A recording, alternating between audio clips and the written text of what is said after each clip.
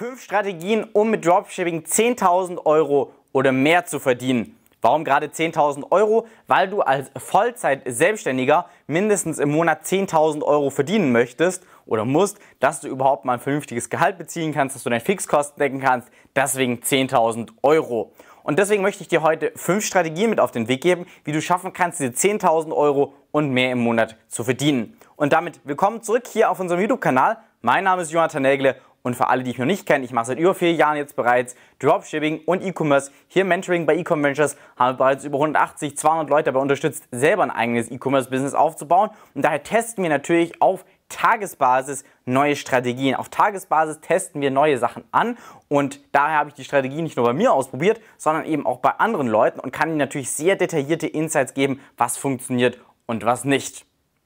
Und die erste Strategie, die ich dir mit auf den Weg geben möchte, ist TikTok organisch. Und das ist eine Strategie, die wird von super vielen Leuten missverstanden, weil klar, du hast bei TikTok grundsätzlich den Vorteil, dass es nicht wie ja, ähm, zum Beispiel bei Instagram oder bei anderen Plattformen Account-basiert ist. Das heißt, du hast nicht einen Account und je mehr Follower zum Beispiel dein Account hat, umso mehr Reichweite an sich bekommst du, sondern streng genommen hat jedes einzelne TikTok, was hochgeladen wird, die Chance, ja, organisch viral zu gehen. Das heißt, auch wenn du keine Beiträge hast, du hast keine Follower, du hast nichts, jedes TikTok hat an sich selbst die Chance, viral zu gehen. Und das ist ein großer Unterschied im Vergleich zu anderen Plattformen, weil bei Instagram, wenn du gerade keine Follower hast, du lädst irgendwas hoch, kein Mensch wird sehen. So, weil du bist einfach auf dieser Follower-Schiene. Das hast du bei TikTok nicht. Bei TikTok ist es völlig egal, ob du Follower hast, ähm, wie viele Likes du in der Vergangenheit hast. Jedes Video wird quasi neu einzeln vom Algorithmus bewertet. Und jetzt denken viele Leute, ach super, dann kann ich mich ja zurücklehnen, mache einfach ein Video und das wird dann wahrscheinlich eh viral gehen.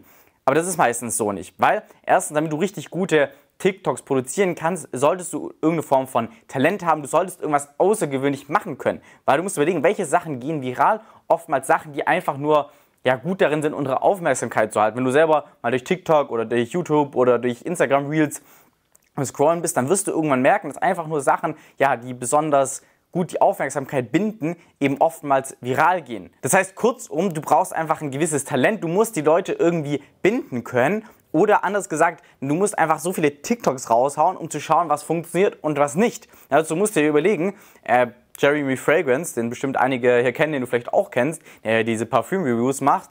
Ähm, von dem habe ich nicht erfahren, dass er am Tag so irgendwie um die 5 bis 7 TikTok hochlädt und die meisten und die allermeisten wieder löscht, weil sie einfach keine Reichweite bekommen. Ja, und so musst du das dann auch sehen. Das heißt, du brauchst extrem viel Zeit, mal mindestens drei, vier Stunden am Tag, wenn nicht sogar mehr, die du einfach nur investierst, um am laufenden Band neue TikToks rauszuhauen, weil du einfach nicht jedes TikTok profitabel bekommen wirst oder überhaupt viral bekommen wirst. Das heißt natürlich eine Sisyphus-Arbeit, sowas letztendlich zu ja, manipulieren, dass es irgendwann mal viral geht. Ne? Das heißt, du brauchst da auf jeden Fall ein gutes Talent und deswegen ist es schwierig. Deswegen ist diese Strategie auch eigentlich gar nicht für Anfänger, weil gerade wenn du vom Marketing noch nicht so ganz geschärft bist, dann ist es natürlich super schwierig, was Virales zu produzieren. Ne? Was dann auch viel schwieriger ist, als wenn du einen TikTok hernimmst und einfach nur Geld drauf schmeißt in Form von Werbeanzeigen. Gut, das war die erste Strategie. Die zweite Strategie ist Google Ads oder Google Search Ads. Das heißt, das sind diese Werbeanzeigen, wenn du was googelst, die oben quasi ja, auftauchen oder die am Rand in Form dieser Shopping-Anzeigen äh, auftauchen. Das ist wieder eine Strategie, die funktioniert besonders gut für Produkte, die, ja, wer hätte es gedacht, oft gesucht werden. Weil Google funktioniert halt komplett unterschiedlich im Vergleich zu ja, jetzt TikTok, Facebook oder Instagram. Bei Facebook, TikTok oder Instagram scrollst du durch dein Feed und du siehst irgendwas und du kaufst es. Du hattest aber vorher keinen ja, Kaufabsicht. Du gehst ja nicht auf Facebook, auf Instagram oder hier auf YouTube, um irgendwas zu kaufen, sondern du willst erst einmal Content konsumieren, dich unterhalten lassen. Und deswegen funktionieren diese Produkte, die im Regelfall jetzt besonders gut bei Facebook, Instagram oder TikTok funktionieren, nicht bei Google. Weil bei Google werden sie ja gesucht und bei Facebook oder Instagram wusste ich ja noch gar nicht, dass ich das Produkt gleich haben möchte, also gleich kaufen werde. Das heißt, das eine, was wir bei Google haben, ist ein Bedarfsprodukt, was ich kaufe, wenn ich es brauche, wenn ich aktiv auf der Suche, wenn ich schon ein gewisses Kaufinteresse habe, so ähnlich wie bei Amazon. Und das, was ich bei ja, Facebook und Instagram und TikTok habe, das sind Impulskaufprodukte, wo ich mich einfach spontan catchen lasse. Ich lasse mich einfach beeindrucken von der Werbeanzeige und sage, boah, komm, kaufe ich jetzt einfach. Ja? Und deswegen funktionieren bei Google besonders gut diese Produkte, die eben ja einfach schon ein gewisses, wo ein gewisses Interesse da sind. Ja, das können dann auch gerne Produkte sein, die ein bisschen teurer sind, weil oftmals haben wir so dieses Impulskauf, hängt natürlich auch ab, ab einem gewissen ja, Preis, der am Ende an dem Produkt dranhängt. Ne? Das heißt, wenn du was verkaufst, 50 Euro ist es ja viel einfacher zu kaufen als für 500 Euro. Bei Google hat ja jemand sowieso Kaufinteresse und vergleicht sich vielleicht einfach nur den besten Anbieter und kauft dann was für 500 Euro. Das heißt, da gehen durchaus ein bisschen höherpreisige Produkte, ja, aber du musst halt eben diese Erfahrung mit Google Ads haben. Und Google Ads ist halt nicht einfach zu lernen, gerade für einen Einsteiger, weil du halt dieses komplette Bidding hast. Ne? Das heißt, du bietest auf einzelne Keywords, ne? das heißt, den Suchbegriff, den man quasi eingibt bei Google. Ne? Das heißt, wenn ich jetzt zum Beispiel nach Hundebett bei Google suche, dann kann ich auf diesen Suchbegriff eben bieten. Und da gibt es eben diese Beat-Strategien. Das ist relativ schwierig, weil es natürlich dann auch Konkurrenz gibt. Das hast du bei Facebook, Instagram oder TikTok nicht, weil da steht deine Werbeanzeige für sich alleine quasi und du bist nicht am Buhlen mit irgendwie 200 anderen Leuten, die eben genau auf dasselbe Keyword eben bieten. Na, das heißt, Google Ads auch eine interessante Strategie, wenn du ein Produkt hast, was sowieso schon häufig gesucht wird. Dann auch sehr, sehr interessant, gerade für den Anfang, ist Influencer-Marketing, weil Influencer sind gut darin, den ganzen Tag so eine Art von Content, der einfach engaging ist, wo die Leute gerne dranbleiben, zu produzieren. Und der große Vorteil an Influencern ist, dass Influencern grundsätzlich vertraut wird. Ja, das heißt, wenn ich jemanden folge für einen gewissen Zeitraum, ne, wenn ich dem seine YouTube-Videos konsumiere, ne, du kennst vielleicht auch Influencer, die du schon ein, zwei Jahre verfolgst oder allgemein YouTuber oder sei es auch nur mich, ne, wenn du mich schon drei, vier Monate hier verfolgst, ne, dann hast du einfach ein gewisses Vertrauen natürlich gefasst. Und dann ist es ganz simpel, über Influencer etwas zu verkaufen, weil Influencer haben meistens eine bestimmte Followerschaft, eine bestimmte Zielgruppe. Ja, das heißt, du hast weibliche, du hast männliche Influencer, du hast die in verschiedenen Alter, mit verschiedenen Interessen. Ja, wenn du jemanden, der zum Beispiel jetzt sich die ganze Zeit irgendwas ums Thema Auto macht, dann wirst du halt super einfach haben, dort ein Autoprodukt oder ein Zubehörprodukt rund ums Auto zu verkaufen. Wenn du jemanden hast, der im Beauty-Bereich unterwegs ist, wirst du es halt ein bisschen einfacher haben, dort deine Beauty-Produkte zu verkaufen. Ne? Und Influencer sind A, gut da drin, wie gesagt, Content zu create. Und zum Zweiten hast du einfach auch eine bestimmt definierbare Zielgruppe. Klar, wenn du jetzt die allergrößten Influencer nimmst, folgt ja jeder irgendwie so. Aber wenn du halt so ja, ein bisschen nischrige Influencer nimmst, hast du auch einfach den Vorteil, ne, dass du deine klar definierte Zielgruppe hast und genau zielgerichtet die Influencer ansprechen kannst, die eben dein Produkt bewerben können. Ne? Also eine hervorragende Möglichkeit, gerade auch für den Anfang. Aber man braucht natürlich auch die Kosten, um so einen Influencer zu bezahlen. Das ist dann ähnlich wie Werbung schalten letztendlich. Die vierte Methode ist ganz klassisch Facebook Ads. Und bei Facebook Ads müssen wir verstehen, dass Facebook Ads in 2023, 2024 und fortfolgende sehr, sehr, sehr viel schwieriger geworden ist als Anfänger. Es ist eigentlich nur eine Strategie, die du richtig gut hinbekommst, wenn du Erfahrung hast oder du hast einen Mentor oder sowas in die Richtung, der dir einfach schon ein bisschen was sagt über das Thema Facebook Ads. Facebook ist an sich ist eine super Strategie, weil Facebook sehr, sehr konsistent in den Ergebnissen ist. Du was gefunden hast, was gut läuft, das läuft ein halbes Jahr, das läuft ein Jahr, das läuft teilweise zwei, drei Jahre. Wir hatten Werbeanzeigen, die sind zwei, drei Jahre an einem Stück gelaufen, ohne dass wir irgendwas dran ändern mussten. also Facebook liefert dir einfach konsistente Ergebnisse dank des starken Algorithmus, den es natürlich auch lange eben auch schon gibt. Das heißt, nach wie vor Facebook eine der Top-Plattformen, aber es braucht dann einfach mehr Aufwand, um profitabel zu werden, weil Facebook-Ads an sich einfach sich verteuert haben. Das heißt, die CPMs, das heißt, die Kosten, die du für 1000 Impressionen hast, kostet per Mill, also Kosten für 1000 Impressionen sind einfach deutlich höher als auf anderen Plattformen. Und daher brauchst du einfach Erfahrung, um das Ganze profitabel zu bekommen. Außer du möchtest jetzt äh, erstmal noch 10.000 Euro äh, an den Start legen, um mal nur rumzutesten, rumzuspielen, was letztendlich funktioniert. Deswegen würde ich dir ganz stark empfehlen, wenn du mit dem Bereich Facebook startest, dass du auf jeden Fall dir jemanden an die Seite nimmst, der Know-how hast, der das jetzt auch nicht für dich macht, weil dann hast du selber nicht gelernt, sondern dass du selber jemanden an die Seite nimmst, der dir genau zeigen kann, wie man Facebook-Ads eben auch erfolgreich schalten kann.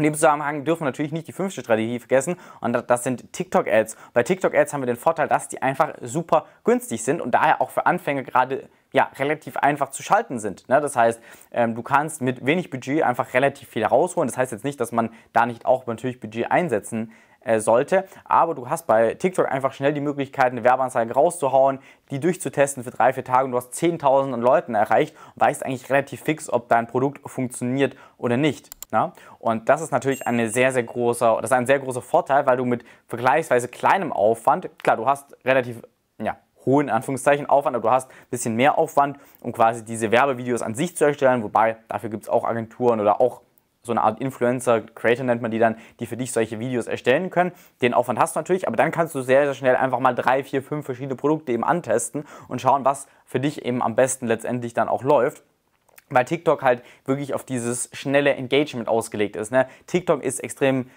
kurzlebig, nicht im Sinne von, dass eine Werbeanzeige jetzt nicht nur zwei, drei Tage funktioniert, dann nie wieder, sondern dass TikTok einfach schnell Platz für neue Ideen oder für Platz für neue Sachen eben schafft. Ne? Das heißt, du kannst da einfach relativ fix neue Sachen antesten ne? und du hast nicht bei Facebook so eine Lernphase, wo erstmal sieben Tage lang überhaupt nichts passiert, wo du dann erstmal in die Gegend kommst etc., äh, sondern bei TikTok kann das einfach relativ schnell gehen, so ähnlich wie es natürlich bei einem organischen TikTok auch ist, ne? wo jedes einzelne organische TikTok quasi die Möglichkeit hat, viral zu gehen, hast du es bei TikTok Werbeanzeigen in einer gewissen Weise auch, dass es in der Form, dass es halt auch so schnelllebig ist und dir einfach schnell Ergebnisse bringen kann und auch günstige Ergebnisse und dadurch natürlich sehr attraktiv ist, wenn du jetzt gerade am Anfang bist, du möchtest dich ein bisschen rumprobieren, ne, dann ist TikTok Ads eine der besten Sachen, weil auch die Zukunft ist, dass wir Real Content äh, haben werden. Ne? Also ich äh, gehe ganz davon stark aus, dass diese ganzen klassischen Sachen, wie wir sie jetzt vielleicht heute kennen, also gerade Beiträge bei Instagram, mehr und mehr durch diesen Real-Content, wie wir jetzt bei TikTok sehen, eben ersetzt wird. Ne? Weil Reels viel engagender sind. Muss man überlegen, wie viel Zeit verbringst du damit, bei Instagram nach unten zu scrollen,